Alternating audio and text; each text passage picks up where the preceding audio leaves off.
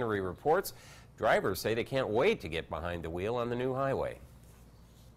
I think it's really exciting and uh, just a really nice, smooth, easy way to get uh, from here to Lafayette and then on further north. I think we are so fortunate to be able to just leave Delphi, get up there on that Hoosier Heartland, and go to Lafayette.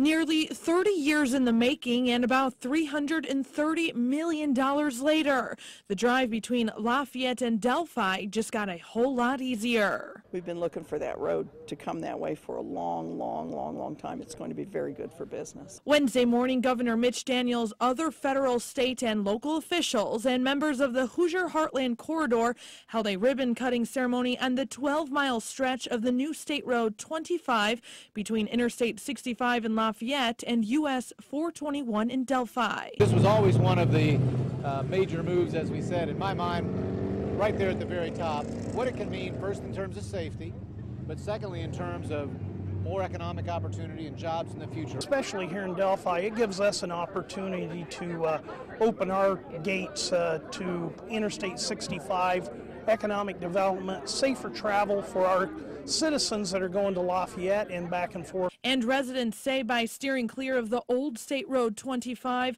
besides speeding up their drive between Lafayette and Delphi, safety is the key with the new Hoosier Heartland Highway. I'd never drive 25 because there's been so many accidents. I've, I've seen too many accidents. So it, it's nice to have a road that, that's going to take the danger out of it. An acquaintance of mine lost a child, his only child out there several years ago. And, um, and this one clearly will be more safe, and um, I just, I'm just so blessed to see it finally come to pass. The last three portions spanning from Delphi to Logansport should be complete by the end of 2013. Reporting in Carroll County, Krista Henry, News 18.